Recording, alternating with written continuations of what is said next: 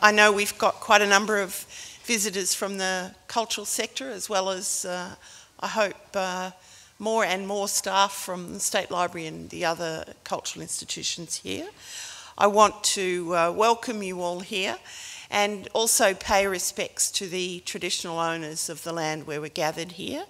Um, we want to acknowledge uh, their elders past and present. And we want to specifically today talk about, uh, we'll have the CSI, CSIRO uh, present on the digital economy and to look at the uh, outcomes of the 2014 report. And um, the report uh, included quite a lot of, um, I think, quite contentious claims about the uh, GLAM sector and particularly when I'm looking at it from the perspective of what libraries are doing in the digital space, I think um, to be called digital dinosaurs is, uh, is contentious. And uh, I think, certainly when I was interviewed, I did uh, express the view that I thought um, that didn't really apply to um, the library sector, certainly not this library. And uh, so I made my views um, quite uh, well known at that point. And I can tell you that in the last five minutes, I've been confronted with even more questions about what does this mean for libraries and how do libraries interpret their role in this digital age. And, um, and the, also the assertion that Australia's cultural institutions risk losing their relevance if they don't increase their use of digital technologies and services, uh, which has also come out of the report. And uh, I think that uh, we've certainly taken that on, and it's not something we've just taken on in the last two years. I think the library sector, particularly, but I understand the wider GLAM sector, is seriously looking at how we engage with our audiences in the online uh, environment. What does that mean for our, our organisational structures? What does it mean for our collecting and content um, strategies? What does it mean for uh, the way we measure uh, our effectiveness and our impact in the community? So there are lots of ways in which we, I think, we are already addressing the changes in our environment. But you're not here to listen to me. We've got here representatives from the GLAM sector and online, but also we um, uh, have Troy Brown, who's currently the Business Development Manager within the CSIRO's digital productivity flagship, supporting CSIRO researchers to achieve engagement with industry, licensing agreements and ongoing impact from their scientific research. And in the last uh, three years, Troy managed CSIRO's equity portfolio, dealing with uh, investee companies and boards, and also managed the CSIRO Cooperative Research Centre Engagement Office. And Dr. Sara Dods, who currently serves as the Research Director for the Digital Economy Program in the CSIRO's Digital Productivity Flagship. And the multidisciplinary research of which that report is part is focused on digital services transformation and driving innovation to enhance the growth of Australia's emerging digital economy. And in the last three years, Sara has led uh, their research in health services, also focusing on digital innovation. And her career spans Australia's innovation system, having worked in a wide range of organisations, including mining, high tech startups, academia, public and private research organisations. And so I'm going to ask uh, Sara to introduce uh, this uh, presentation, and then there will be time after the presentation for questions, assuming I haven't spoken for too long. So I'll welcome Sara.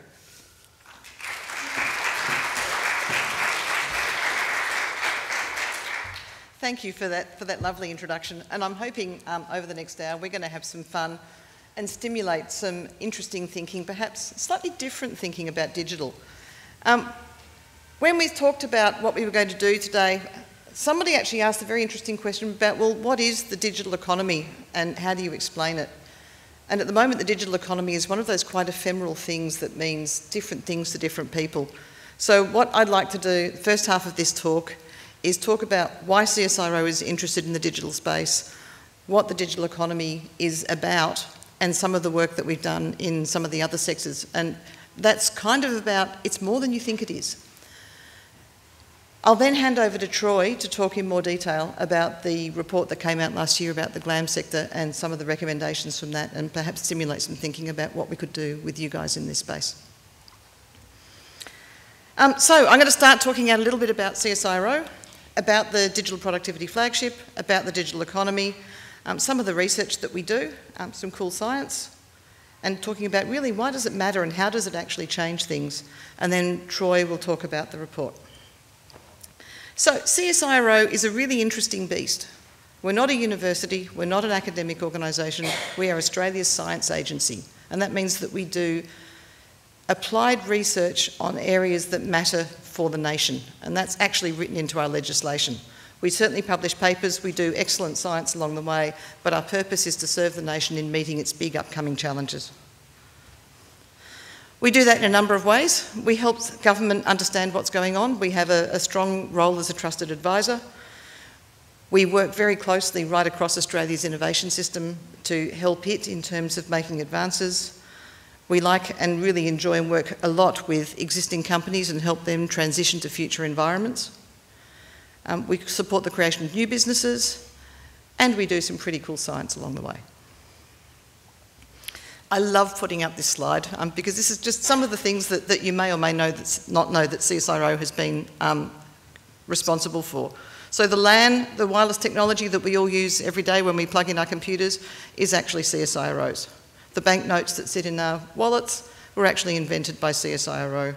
The Relenza flu vaccine, extended wear contact lenses, Aerogard, and there's um, a, a, classic video about Her Majesty the Queen when she came out to visit Australia and Aerogard got produced to keep the flies off her.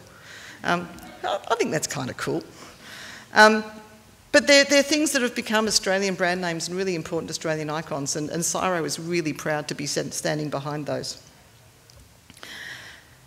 Because our purpose is around the future of the nation, we actually organise ourselves into things called flagships, and those flagships are about addressing national challenges.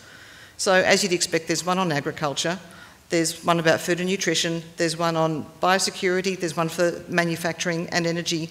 The one that I'm part of is about digital productivity. And that flagship is actually focused on the challenges to Australia about the fact that the whole world is going online.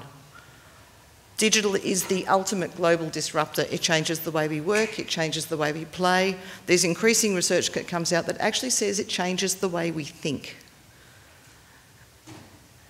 And that means that there are enormous opportunities and there are also some quite interesting threats to the Australian economy and to both um, the way we function in our society and, and to um, the way we do business. And so this flagship is looking at those benefits and how we can help realise them for Australia.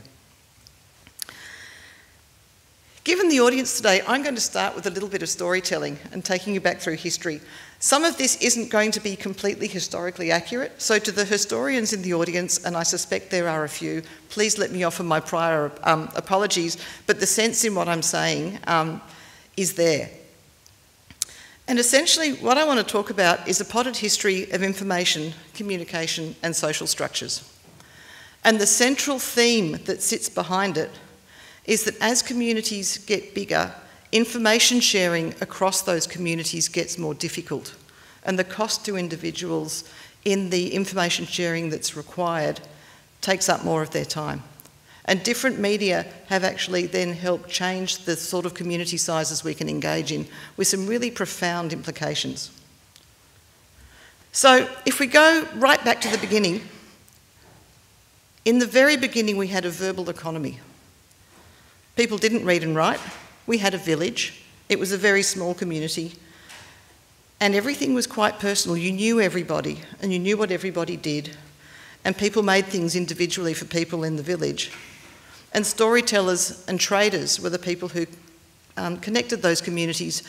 And the communication timelines were actually how long it took those people to travel between communities. And that was quite a long time, weeks or months even. As communities got bigger, this got to be slightly more difficult because there were now too many people in the community for everyone to know everybody else. And so the governance instead of being essentially by the group deciding together what they were going to do, governance became by congregation. You had to get people together into a group to be able to efficiently broadcast a message to them. So that's where church sermons became very important and town criers became very important in terms of ways of spreading information. And the cost and the load of this information sharing grew, but knowledge was power. So having somebody having told you something that you knew that other people didn't because they hadn't been told actually was a form of power. And the errors that used to creep into that were errors of people remembering what they'd been told. That reaches a self limiting size. And what happened to enable the next step is that the economy started to shift from a verbal economy to a paper economy. More people were reading and writing, and there was a printing press, which meant it wasn't now just a very small elite that could read and write, it now became something that, that more and more people could do. And that actually alleviated a lot of that cost of information sharing because people could now get information in new forms and digest it in different ways. So, this paper economy enabled new models for social interaction. You could write letters to people now and they could read them at the other end. New models for education because you could have textbooks. New models for government, the form. And I don't think I need to say anything more than the form. Um, but retail and trade, it changed the really fundamental things about our society and the way it functions. And there were a whole lot of new services that were now possible because of writing, because of reading, because of the ability to produce things on pieces of paper that you could send to other places. And it was all about you could now do things at scale that you couldn't do before. What we actually gave up in that point was actually a lot of personal aspects of society. So, this is where some of the Industrial Revolution came along. We started accepting that we could buy clothes in standard sizes that didn't quite fit us. The, the days of bespoke clothing started to, to die down, and it didn't quite fit you, but it was so much cheaper than the bespoke alternative that that was actually a pretty good value proposition. We started in mass production of materials. You could have a carpet in one of standard colours, standard sizes, and it was cheaper to manufacture them that way, so you were happy to choose from a range rather than having something that you really wanted. As those communities continued to grow, we had the rise of the cities, and that was very much powered by the Industrial Revolution and jobs. And now we had governance by form. Filing was power. I've got the information, it's written down somewhere, I can go and look it up. Literature was available to share information. But again, as the cities get bigger, the cost and the load of that information sharing grows and you start getting a lot of duplication. You have to fill. How many people here have felt they've had to fill out the same information on 20 different forms to 20 different places in a fairly short space of time? I certainly do. I have kids in school and I seem to endlessly have to fill out Medicare numbers and home addresses. And I'm going, guys, you know this, you ask me this every time. But there's a lot of repetition, there's a lot of re entry, there's a lot of manual sharing of that information. Something written on a piece of paper is actually an image. And you've got to actually, the brain is what we've been using as the copying mechanism for that for some time. And errors crept in due to clerical and transcription errors of people reading that and writing down something they thought was the same, but they weren't quite right about. And this was almost the bureaucracy age. In fact, I think we're still at the hopefully tail end of the bureaucracy age, which is about compliance and regulation and large stacks of paper that we need to fill in. What's happening at the moment, which is really interesting, is the digital economy that's coming is another way, step change in alleviating that high cost of sharing information. Electronic information is no longer an image, it's actually something that's electronically readable and electronically reproducible so that you're reducing the, the potential for those clerical and transcription errors because you now actually have access to the raw data that went into them, which you haven't had before. And that electronic information and the ability to communicate it in digital form is again leading to new and different models for education because we can now do online learning. People who are watching me over the internet are engaging in exactly that, that kind of online experience. You haven't had to come here and listen, which was the old verbal economy, and you're not reading a transcription of what I've said, which would have been the paper economy. But it also enables new, new models for government, for trade and retail. So eBay and Amazon are two really interesting examples of that. Finance is changing with things like Bitcoin. Health and the rise of telehealth is, is changing in that space. So again, it's almost as big, in fact, I think it is as big as the change from the verbal to the paper economy. We're facing a disruption, a change in economy on that kind of scale. And my God, it's an interesting thing to watch unfolding, and it's a great time to be alive in, in that sort of period of opportunity. And the other really interesting thing about it is that it's recapturing and reinvigorating the personal.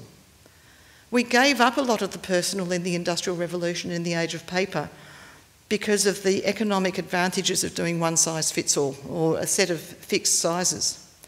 With digital manufacturing that's coming with personalised services, we're now returning to an era where we can actually do things that are all about you.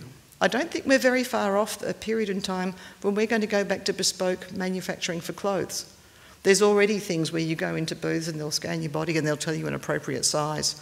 Um, they're talking about knit factories where they'll actually then custom make a garment that you've chosen off the shelf and they've measured, measured you up and they'll make it to fit.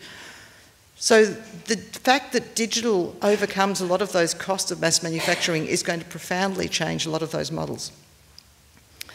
And that, so that return to the personal, I think, is one of the really key things about the digital economy that's coming. And the other is this new ability to engage at scale. You can have a community that's anywhere in the world. Instead of having to wait for a message to be carried by a storyteller or a letter to be carried by post, I can email or have a chat with a call centre operator in India if I really want to.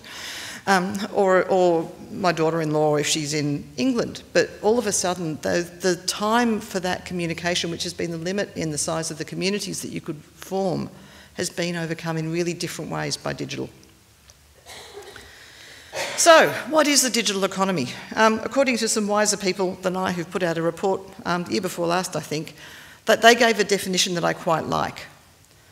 And the digital economy comprises social and economic activities, so it's both, that are enabled by the internet or mobile technology platforms and, and ubiquitous centres, sensors. So they've got digital communications in there. They offer an information rich environment they're built on global, instant, real time information flows. And that's that bit about cutting the communication time. They provide access 24 7, so anywhere, anytime, any device, I think we've heard a lot about. And they support multiple virtual connected networks. So that's one definition of, of the kind of stuff that's, that's a digital economy. Our take on it is, fits in that kind of environment, but it's, it's slightly tweaked. So to us, it's about the social, business, and economic models that are coming about because of the digital age. And that's both about electronic information and the ability to transmit it to other places and to share it. It's about the end of the Industrial Revolution. And every time I say that, I have to sit back and think, my God, that's actually something pretty big. And it's about returning focus to the personal. It's about new, potentially global communities through better information sharing, new information sharing, faster information sharing, and reducing, reusing, repurposing, and recycling data.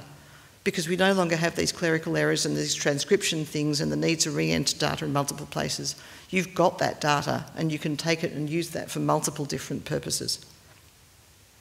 And it's about the digital, economic, and social benefits that come from improving efficiency, performance, and competitiveness of services, it's about increasing the quality of engagement between individuals, governments, and businesses. And it's about, for us, imagining, testing, and then making real what is possible when you start thinking beyond the boundaries of digital.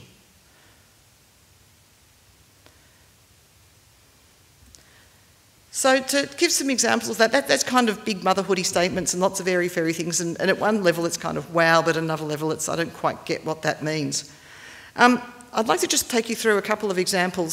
Some of them are cool science that's, that's relevant to this sector, and some of it are some examples of where we've dug deeply and worked with some partners in particular sectors to help them address some, some issues, perhaps in some unexpected ways.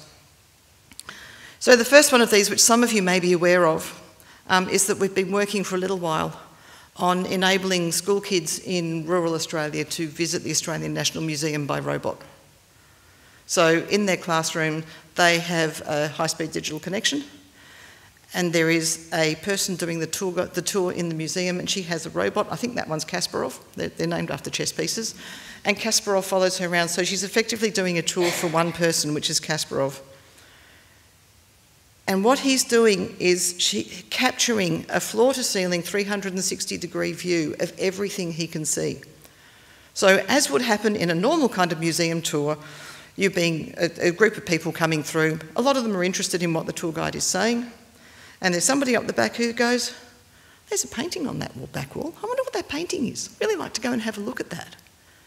And using this interface, he can actually do that because the whole image is being broadcast, so you can have hundreds or even thousands of people participating in this tour, and each one of those people can choose what they want to look at whether it's the thing that, that's being um, shown, whether it's the thing that's being talked about, whether it's something else that just happens to be visible in the room that they'd like to learn some more about.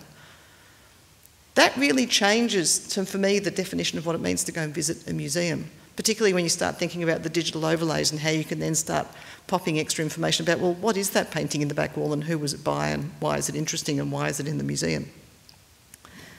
Um, there's also some things there you can see she's, she's dragging over um, something that is a close-up camera so she can actually show the close-up features. You can't quite feel the fleece that she's showing on the, on the merino sheet, but you can get quite close to see the texture of the fibres. So that's cool because it's different to telepresence. It's quite an immersive experience and it scales. So we, have looked at this for the museum space, we've looked at it in terms of doing hospital rounds, in terms of how do you train a hospital intern out at Alice Springs who doesn't have access to the big um, Sydney hospitals, you can actually do virtual hospital rounds. You could do virtual gallery tours. Um, there's lots of, of potential for that kind of technology and a different kind of experience. Um, another one that's quite cool, and, and one of the um, technical geniuses behind this happens to be in the room at the moment, so I've got to be careful I get the details right. Um, one of CSIRO's responsibilities is we're actually um, responsible for Australia's national collections of species. So for the Australian insect collection, we actually have the single physical specimen that defines each of the insect species that we have. And there's a practice between the people internationally who hold those collections of sharing the species, and sharing those physical samples so that you can compare whether something that they found in their country happens to be the, actually the same species and it's there in, in, two continents or in two countries, or whether they're different and how they're different. And there are a whole lot of scientific um, needs behind that. But of course, what happens when you send things by post, even by courier, even carefully packaged, is it's actually a destructive process, and over time these specimens get damaged. Um, what Matt and the Australian Collections team, have, the Atlas of Living Australia, have been doing is they're actually digitising those defining samples of, of what it means um, to be. This one, I think, is a, a Matt, it's a wheat something, weevil. So that sample is four millimetres long.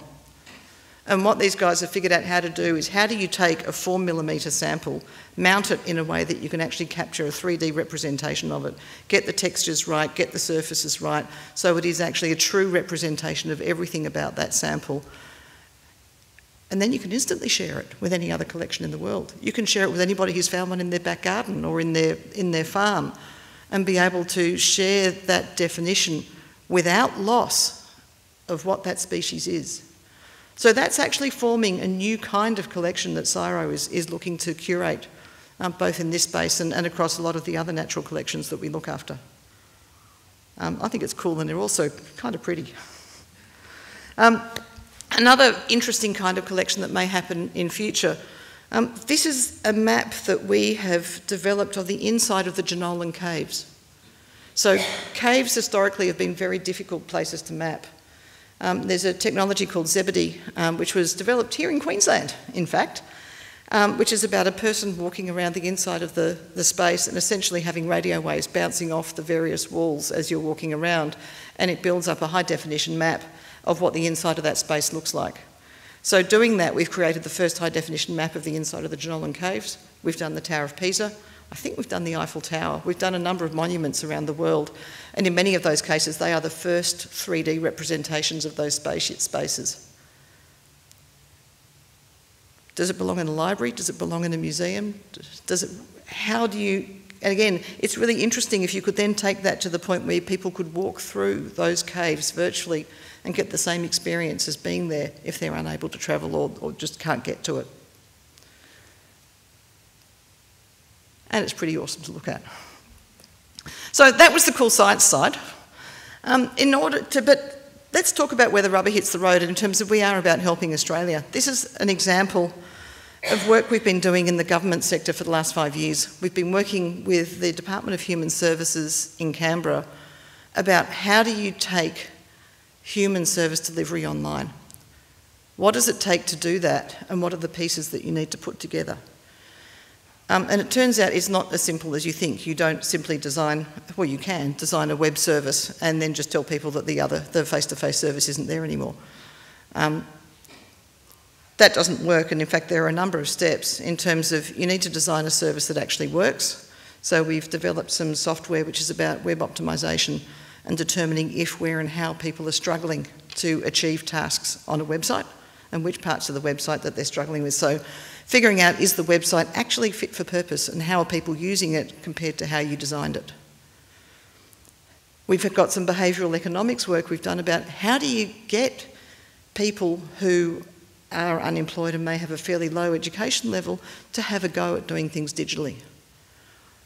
What are the steps in doing that? What are the options? How successful are they?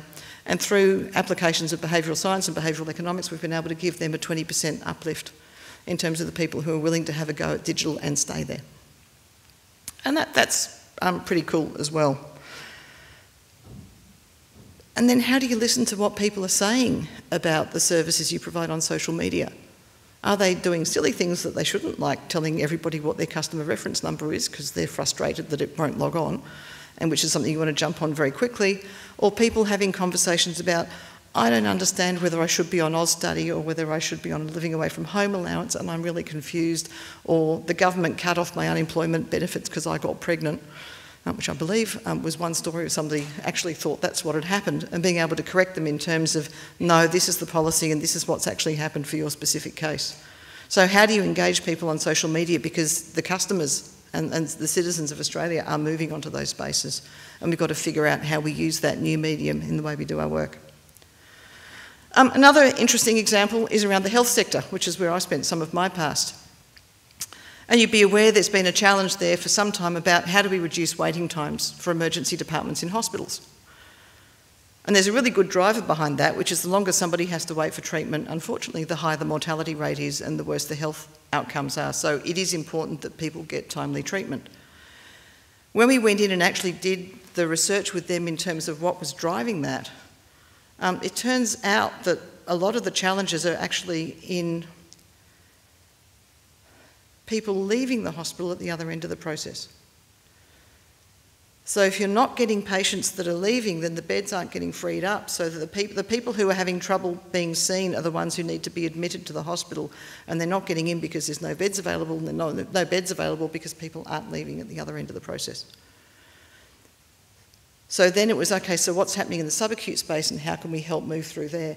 But to get to that finding, there were eight or nine different aspects of their operations that we looked into. So again, there's a report that's come out in terms of can we predict what your bed prediction is going to be? Can we actually have some predictive analytics conversations about how do we make sure those beds are available when they're going to be needed?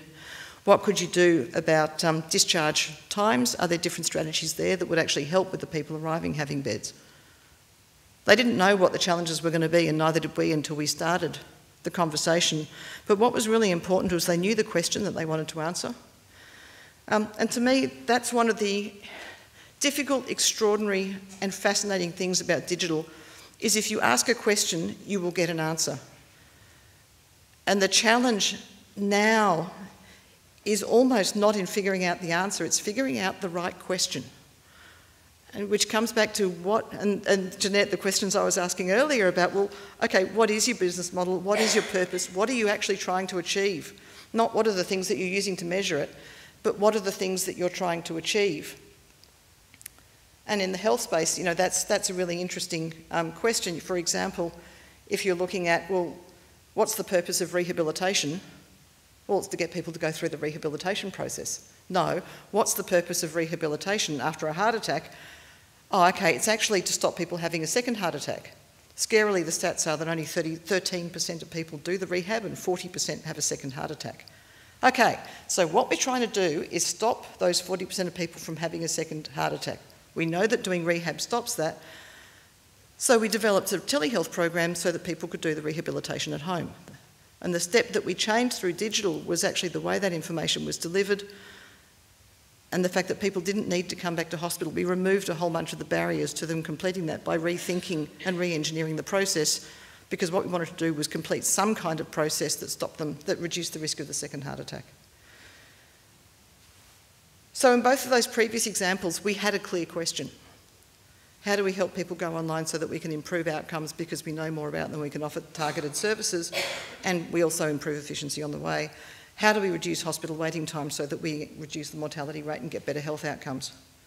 And one of the things I'm really interested to explore is what are the questions um, in the GLAM space, and I'm hoping that we'll get some time to explore that. Because once we've got that, we can then think about how does digital make a difference? And that's where this report is seeking to stimulate discussion.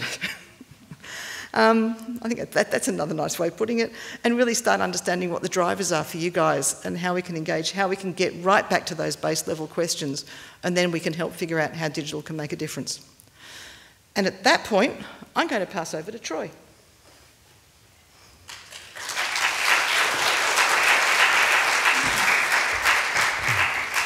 Thank you.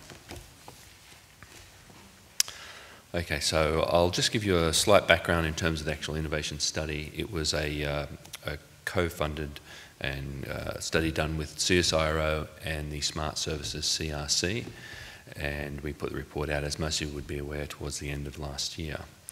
Um, the report came out of a multi-day workshop and a series of interviews that were conducted uh, with key decision makers in the sector around the country.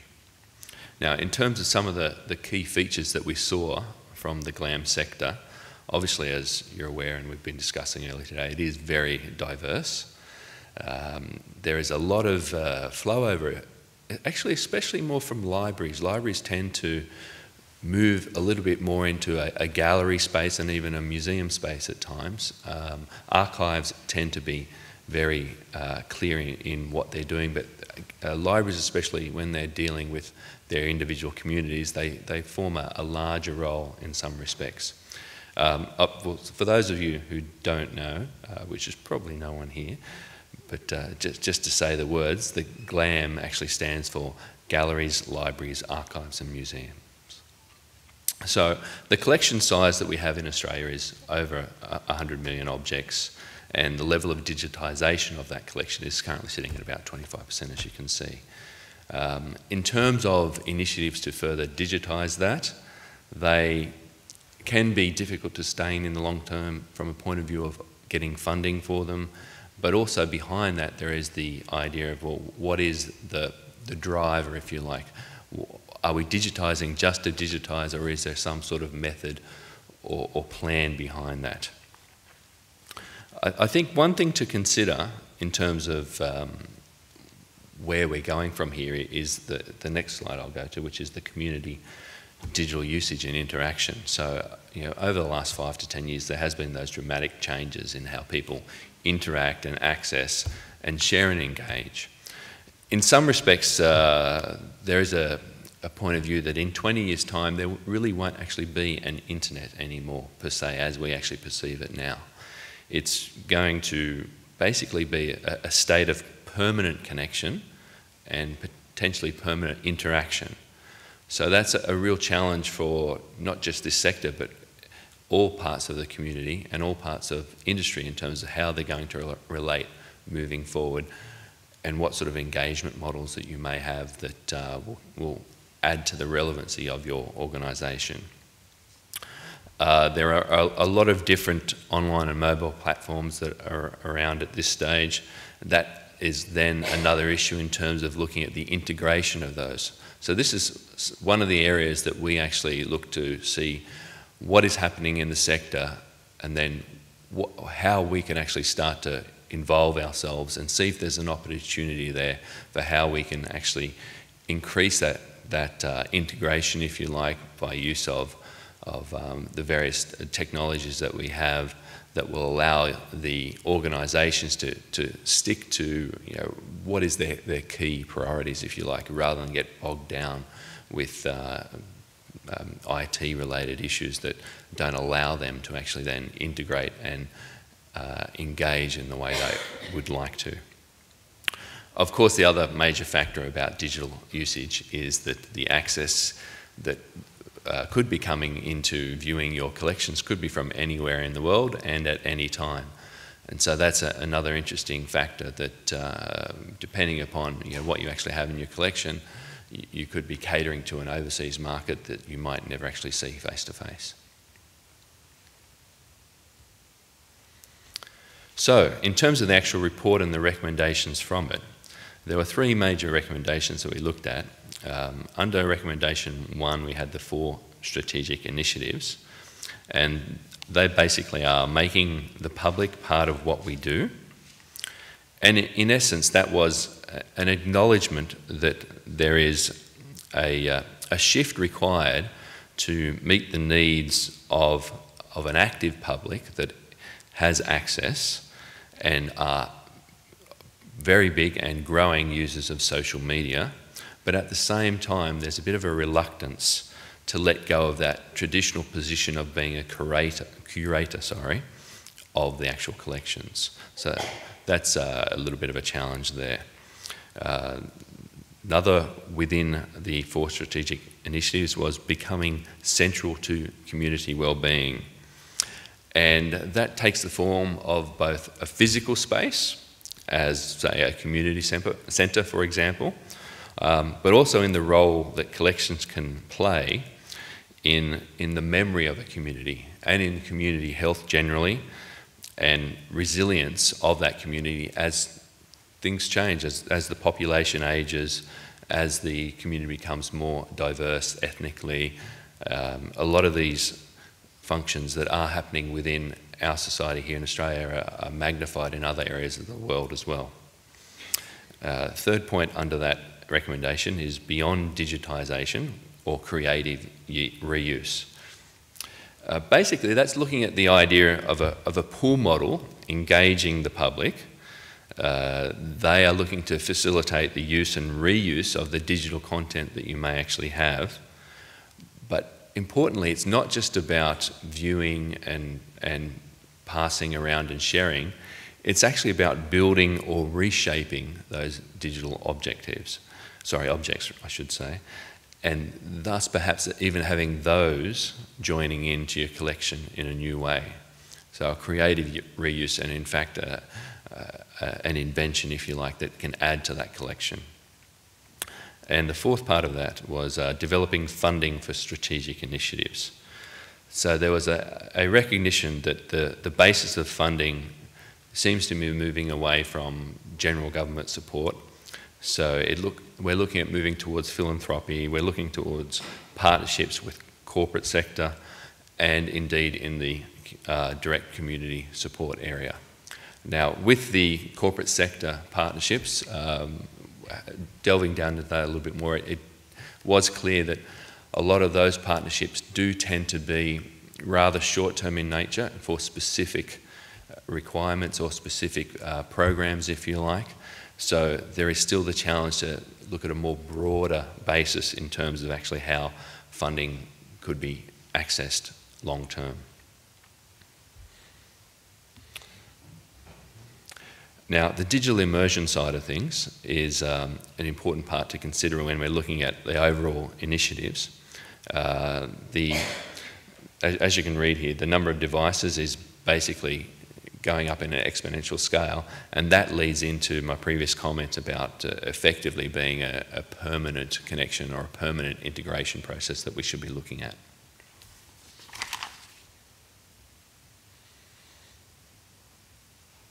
So, recommendation two.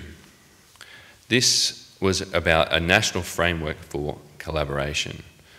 Now, there are six different areas under here, um, but overall, it's really talking a lot about easy and seamless access. And that access, not so much in terms of access to internet or social media and so forth, that's already happening irrespective. It's more about access and interaction with the GLAM sector. So, the first part of that was uh, digitisation and access.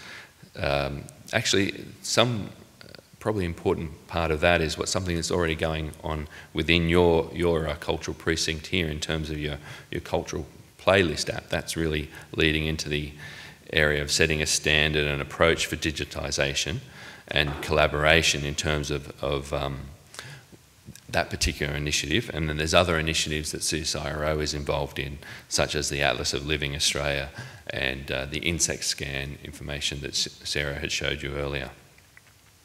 Uh, secondly, digital preservation. The idea that the, uh, the digital material urgently requires a coordinated uh, national standards-based approach to avoid losing access to digital heritage. So it's an aspect that, that needs to be developed of, of how you're going to move forward to make sure that uh, even if things are being digitised, they still may not be lost in the future in terms of changes to formats and, and so forth, which will, will happen. So there also needs to uh, be a look at uh, national approaches to rights. And by that I mean that um, an approach to copyright in the digital environment, um, things such as handling orphan works where the owners are unknown, uh, and also where it also more effectively maintains the rights of the traditional owners of Indigenous material, but in a way that, that stimulates creativity and both supports the creators as well. The skills and organisational change within the sector, we're looking there at uh, closing the gap between various practices of, of why some people are acting in a certain way, what type of business or engagement model they may have, and others. Now, a lot of that's dependent upon the size of the organisation itself and the market that they serve, whether it's a, a, a local library or a, a you know, country museum in a specialist area or a, or a large uh, city-based one that's serving a different market. And leading on from that, we're also looking at the shared infrastructure side of things. Uh, storage is becoming a bit of an issue in terms of some of the organisations and effectively a lot of them actually only have 5% of their collections on show at any one time. So that's a, a big opportunity through digitisation or through other engagement models to allow the public to actually start to engage with the other 95% that's not generally on show. And uh, in general, it's also looking at um, transdisciplinary collaboration and research partnerships, and by that we mean learning how to communicate and collaborate between different professional disciplines within the sector, with academics and researchers, and with different communities of different culture, for example.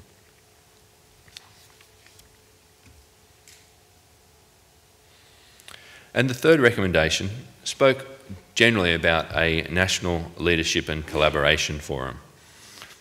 Uh, in, in, that, I suppose we're really referring to just a, a, common forum for conversation. And you, you, here in Queensland have gone down that road a bit with the um, cultural precinct strategy that the challenges that will require corroboration, sorry, collaboration across the sector uh, is not just between the major institutions, but it's also in finding a way to, to involve the smaller institutions, the local based institutions in what you're doing, because they obviously serving their communities as well, but sometimes that, that uh, leadership and collaboration doesn't actually flow down to that level. So, in essence, I suppose the, the report really was a bit of a talking point in, in terms of actually looking at what will be relevancy for the sector moving forward. And this is uh, one of the areas that CSIRO has been looking into in terms of trying to, to, to understand the space to see if there's an opportunity in the sector. Um, you know, we, we've spoken a little bit about what we currently understand about the sector and some of the related activities that we have been undertaking in the digital space, such as the Museum Robot Project. Um, but it, it's really looking at, you know, is there a need? What is that need? And what are the business models underpinning the engagement strategies that you use in the sector? So the questions that we have is, you know, what is it that you want to achieve? Where do you want the sector to go? And even after that, how do you determine success? Because that success determination is going to change as the world becomes more and more integrated and the internet itself, if you like, disappears, but the, the permanent connection and the permanent um, integration and, and engagement continues. So we're looking at metrics that, that underpin what you're trying to achieve, uh, you know, be they visitation numbers or revenue or social media interactions or combinations of all the above or others. So it's to help develop a way forward so that then you can actually be confident about what it is and where that you would expect to head. Um, so in essence, it's, it's about what you can deliver to your stakeholders and to the community and forming the evolution of those business models and engagement. So that's it for us. Thank you very much for the opportunity to speak to you.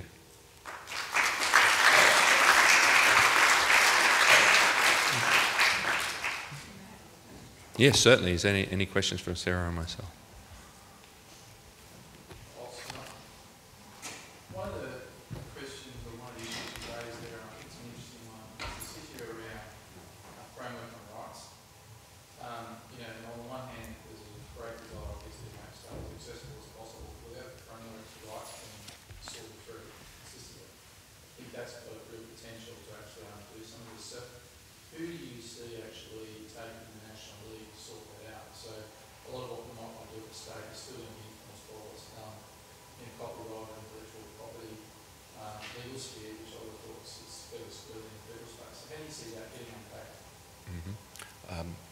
In essence, I, I, agree. It is, it is based upon you know, the, the, copyright laws, if you like, at an initial point of view, and then it'll be supported by the federal policies. But we, we also, I think, we should be looking overseas in terms of how they're, they're viewing that as well, whether there's an, an open access model that we can use to get around those sort of issues, but also still protecting the copyright owner. So we, we don't have a clear answer on that yet at this point in time. Yep. I just wonder where do you see the physical presence of these institutions heading, um, given the movement in digital, where does that leave the physical presence? And is it a hybrid model, um, or will the balance shift, or?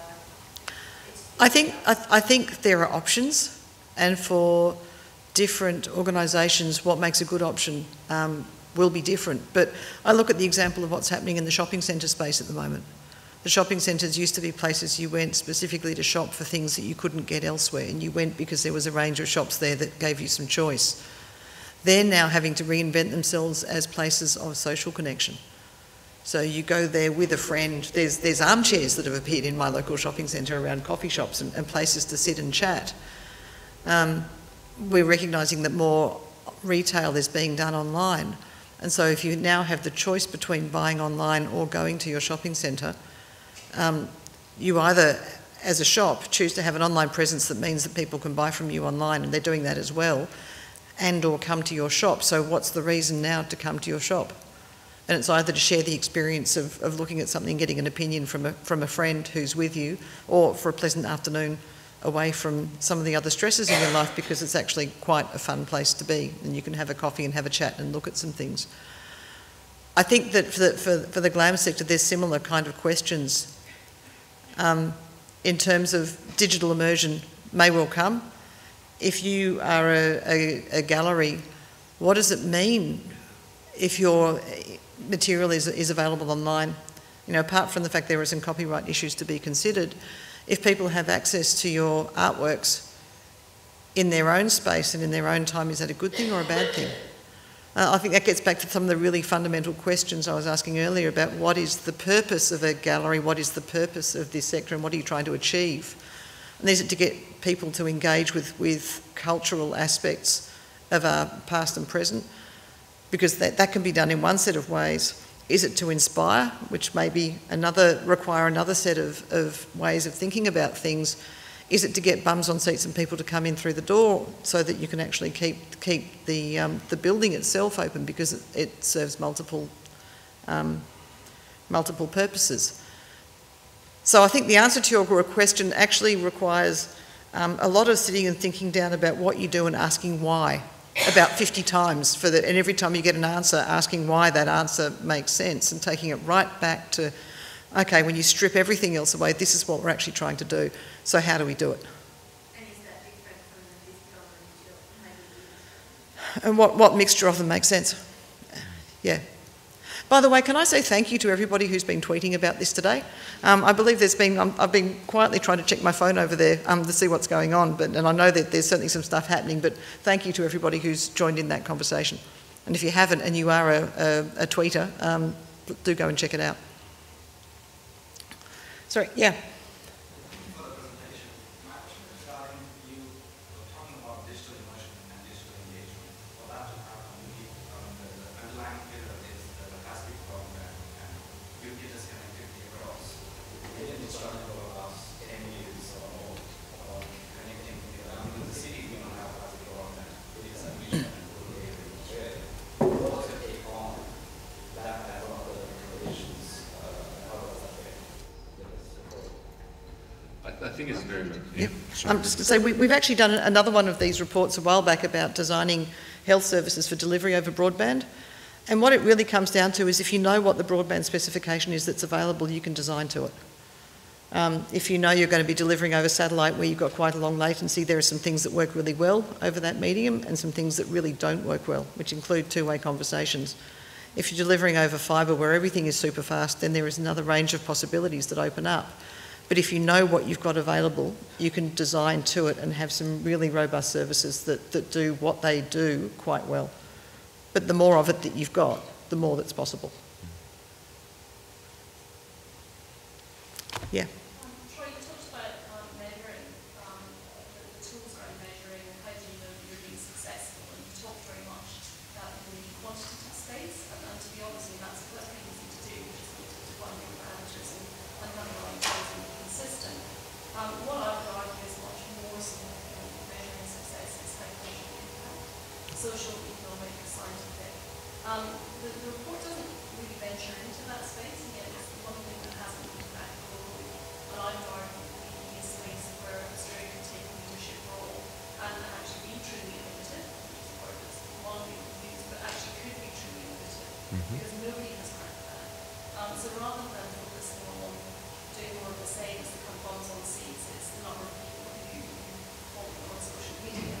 Um, that actually doesn't tell you about impact you're having, whether it's good or bad impact. Do you have any, any comments on how, um, on how you see the, the report helping us approach that issue? Yeah, I, I agree. I think um, I probably didn't allude to it enough in um, when I was speaking, but I, I think some of the things that we're looking at in terms of what metrics we can use and, and how we can then use the technologies that we have do actually revolve around drilling down to the social aspects more and and it's not so much just about the bums on seats. This is about trying to delve down to explain the experience, if you like, and what impact that has on even on the individual, even apart from the community.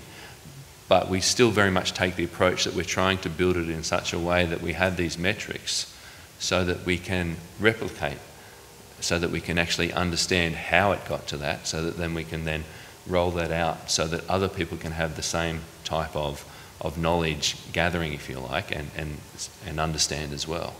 So, specifically at how digital technologies build social credibility. I mean, I'm using capability measures to look at how people feel using the internet more in the first place. I'm showing through health capability, education capability, building, I don't think that's Yeah. Actually, I, I could have a comment on that. Yep. Um, yesterday I was at a seminar which was mainly about economic uh, um, resilience in our economy in Australia. And uh, it was a, K, a speaker from KPMG who indicated he had built a model around the ability of an economy to respond to change, like things like the changing in the price of oil globally. And he was talking about how you measure the health of a state or an economy. And he mentioned how uh, social and community factors fed into his, his model.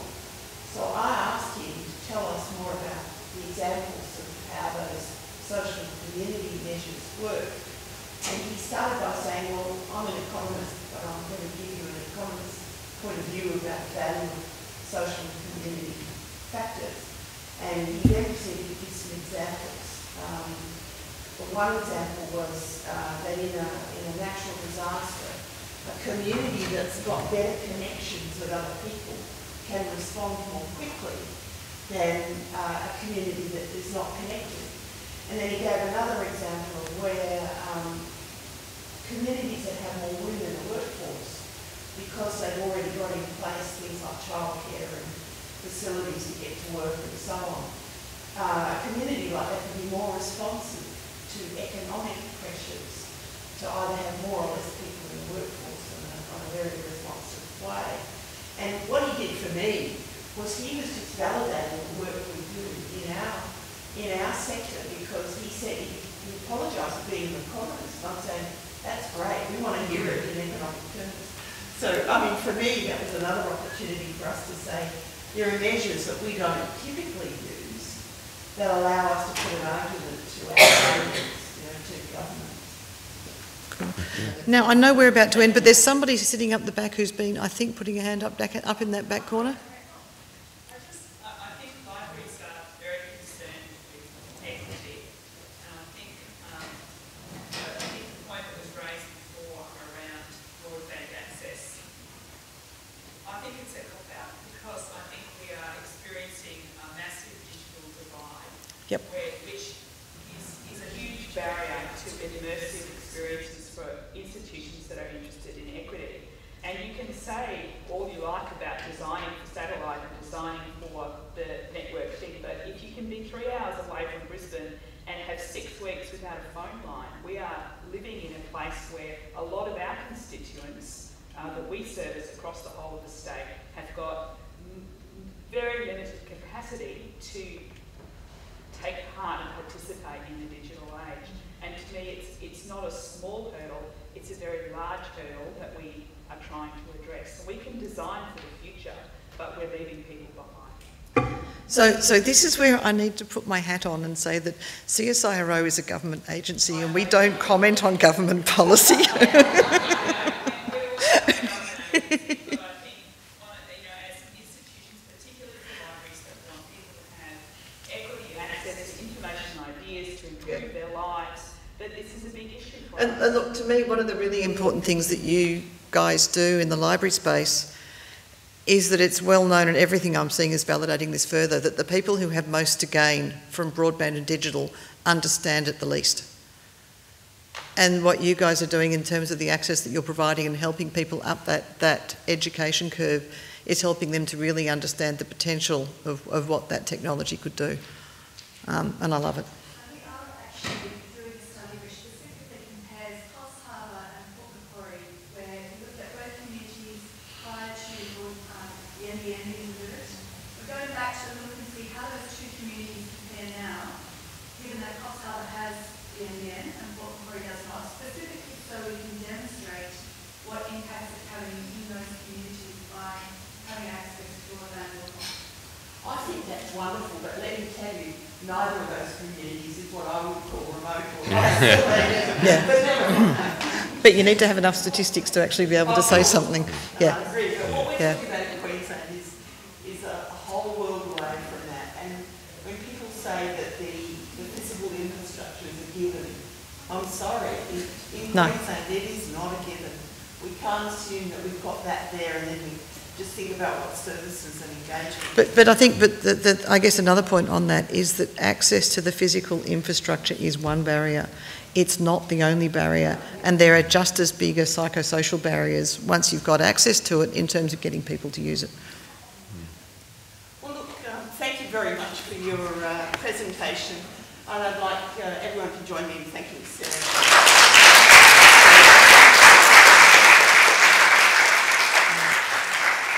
Thank you.